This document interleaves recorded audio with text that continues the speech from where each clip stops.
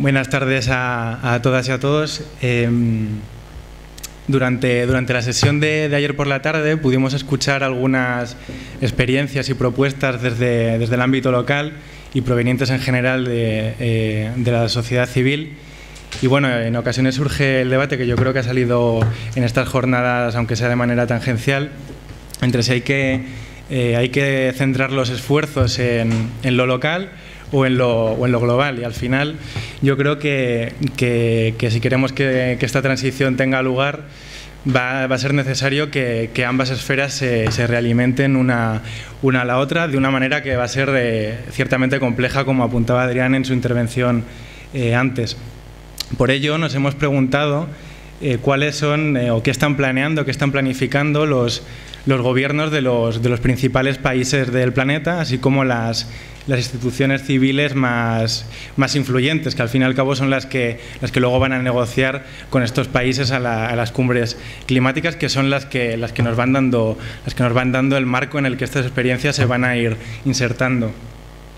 Para ello hemos evaluado una, una serie de planes de, de transición energética hacia sociedades post-carbono que provienen tanto de, países eh, que hemos llamado como desarrollados, aunque el concepto ya sabéis que es eh, discutible,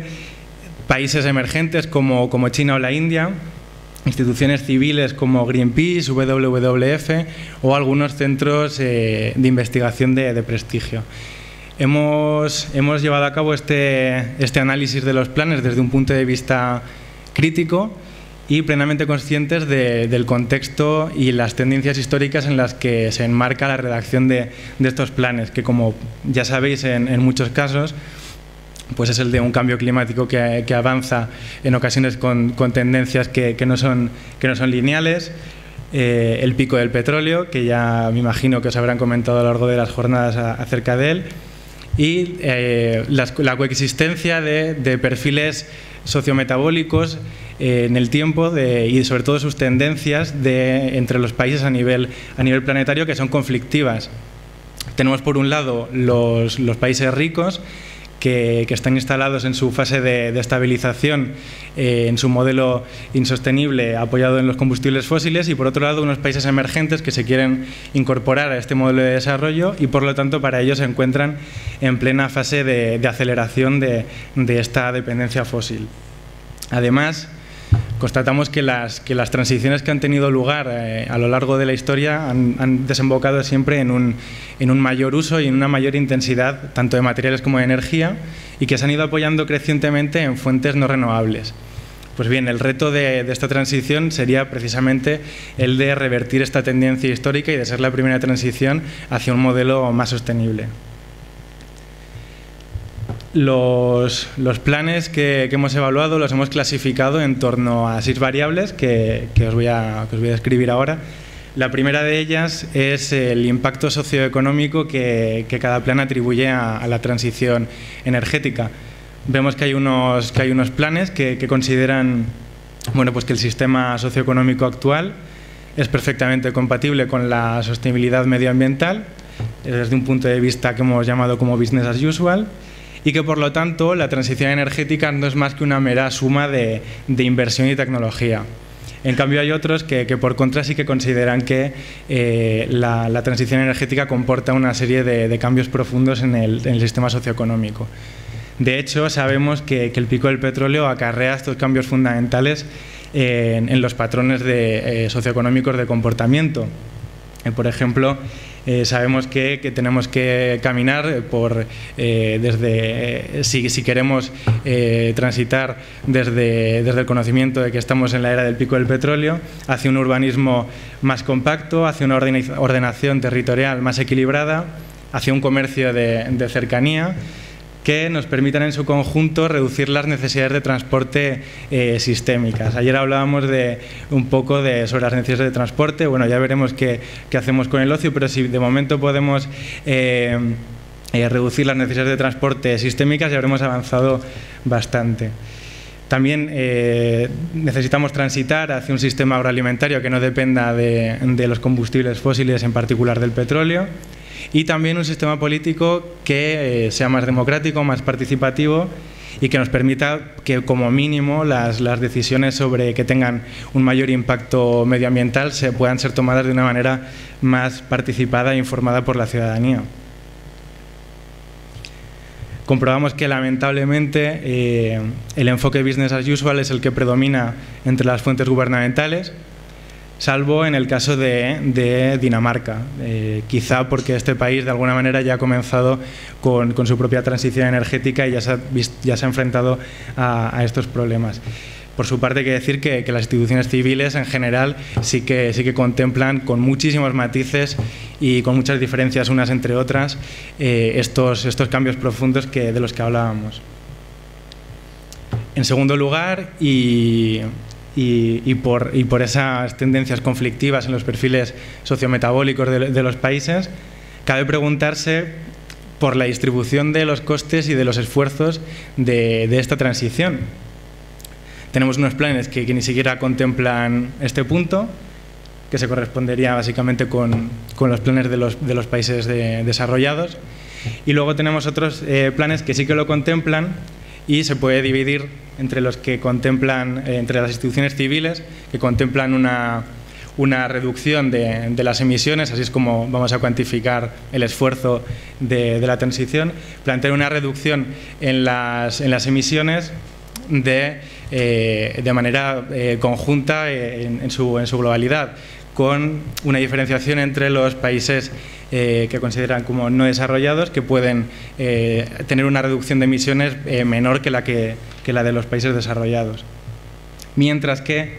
los países emergentes, China y la India, lo que plantean es que hay que acompañar esa reducción eh, eh, con, aumentos de las emisiones de,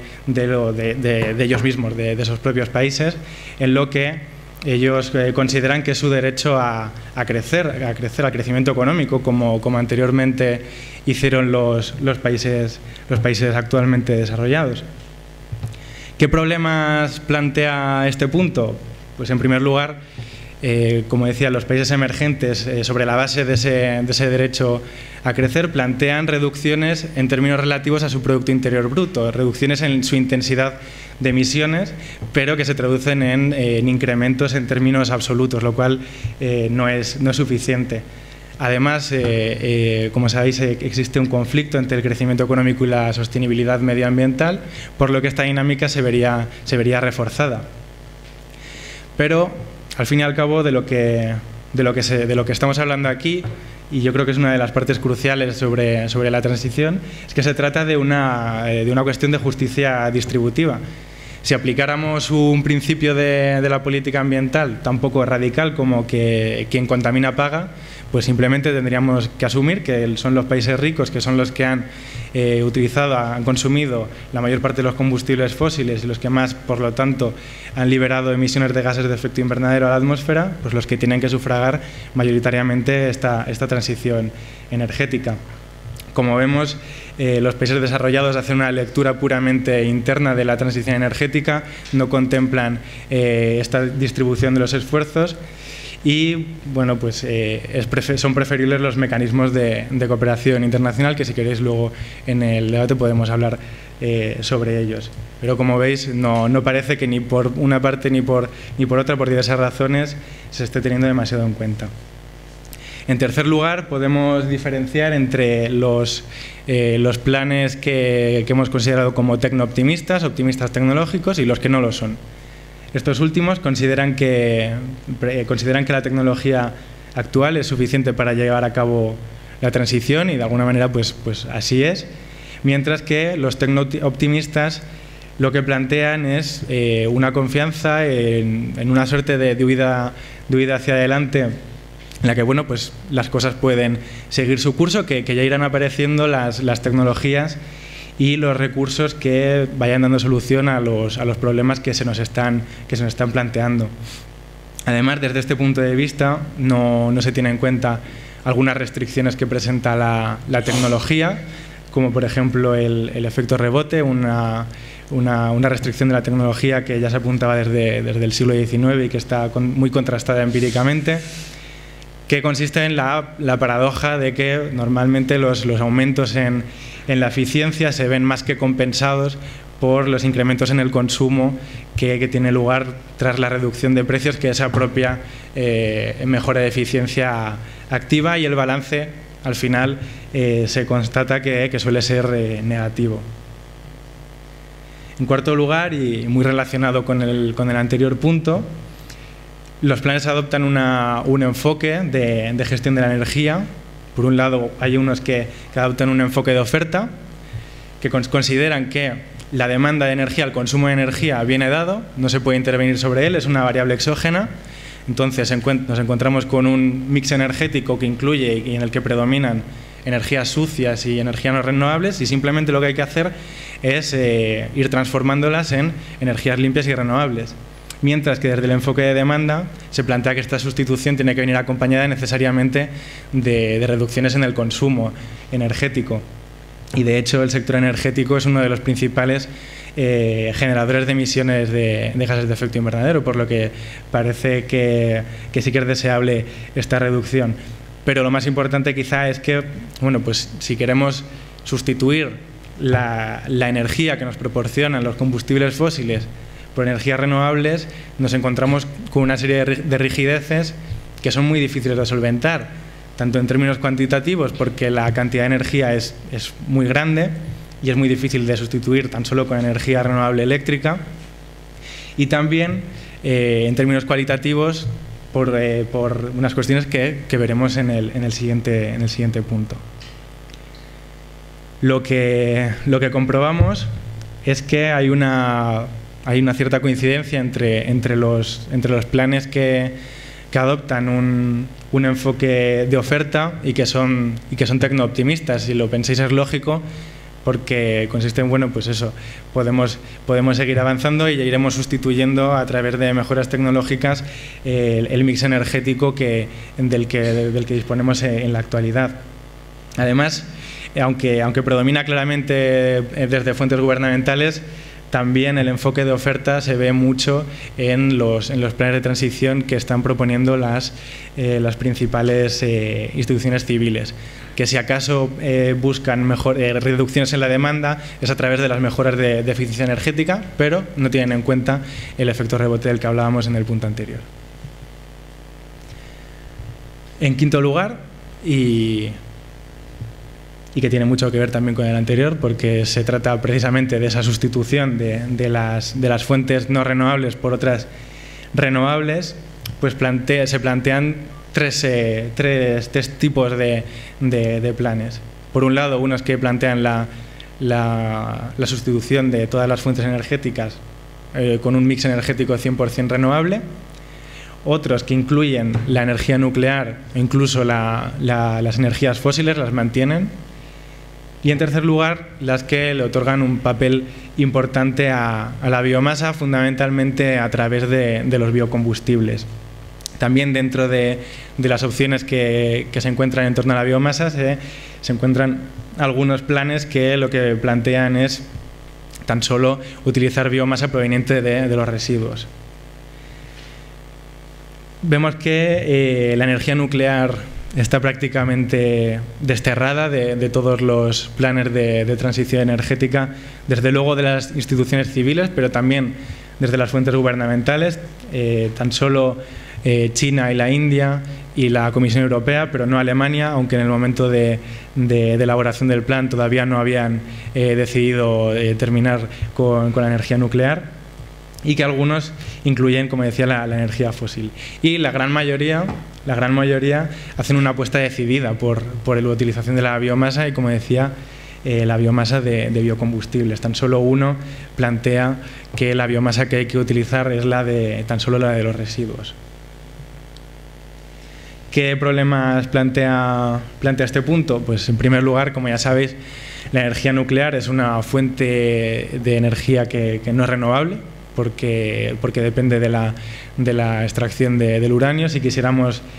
si quisiéramos sustituir toda la energía que nos proporcionan los combustibles fósiles por energía nuclear, eh, las reservas de, de uranio se agotarían probablemente muy pronto. Además, es una energía que es muy contaminante, que es peligrosa y que precisamente es esta contaminación y esta peligrosidad la que hace que sea tan costosa y que además es, son unos costes que, normalmente son tan altos que no se pueden asumir por el sector privado y pues, se, suelen, se suelen socializar y lo suelen asumir los, los estados. Por su parte, hay un, hay un debate en torno a, la biomasa y en particular con, con, los biocombustibles. Y es que el balance energético que, que presenta la, la, biomasa, pues eh, a veces no, no, es el más, eh, no, es, no es muy alto, la verdad y, eh, de hecho es, eh, es, bastante dependiente del petróleo en tanto que la generación de, de, esta, de estos biocombustibles dependa del sistema agroalimentario moderno que depende de, de este petróleo. Además, la biomasa eh, detrae tierras de, de usos preferibles como por ejemplo la alimentación, sobre todo teniendo en cuenta que las plantaciones para biocombustibles suelen tener lugar en el, en el sur global para su procesado en el, en el norte global. Y por último, pues las rigideces de las que hablaba eh, en la sustitución de, la energía en términos cualitativos. Ayer salía también en, el, en la presentación de, Pilar un, eh, un avión eh, solar y, es, un poco, es un poco esto, es muy difícil. algunos usos de, que se da al petróleo actualmente son muy difíciles de, de cambiar. El, el avión solar este eh, si no me equivoco, difícilmente puede llegar a, la velocidad de un, coche normal y eso con, dos pilotos en la tripulación. O sea que, bueno, desde luego queda mucho y no podemos dejar descansar la, transición en, eh, en estas soluciones. Por último, en cuanto a, la urgencia de la transición, se plantean unos objetivos para 2050, que hay unos planes que, no cumplen y otros que sí que cumplen la mayoría de los planes, hay que decir que, sobre el papel al menos sí que, sí que cumplirían o al menos lo plantean como, como, como sus objetivos. Como veis, estos requisitos son diferentes para los países desarrollados de, de los que no lo, no lo están. Y bueno, el problema que, que esto presenta es pues eso, la, la, aceleración de, de, de, los plazos que nos, que nos impone tanto el cambio climático como como la llegada del pico del petróleo para, para realizar estos cambios. A lo mejor 2050 es, es muy tarde y hay que, hay que, se requiere una mayor aceleración y que además es un escenario que, que, es muy poco realista. Si seguimos el trabajo de Jackson sobre las intensidades de carbono actuales y las requeridas en 2050 para estabilizar las emisiones en, una concentración de 450 partes por millón, Vemos que la reducción en las intensidades de carbono tendría que ser del orden de 20 veces inferior. No parece que sea, que sea muy probable, sobre todo cuando no se están haciendo eh, ningún, no se está teniendo ningún posicionamiento desde unos planes en torno al crecimiento económico y en otros directamente se está apostando por, por ese crecimiento. En definitiva, eh, lo que nos muestran estos planes es eh, quizá lo más llamativo es la alta correlación que hay entre los planes que, tienen un enfoque business as usual, son tecno-optimistas y eh, tienen, un enfoque, tienen un enfoque de oferta. Además, estos suelen ser los que,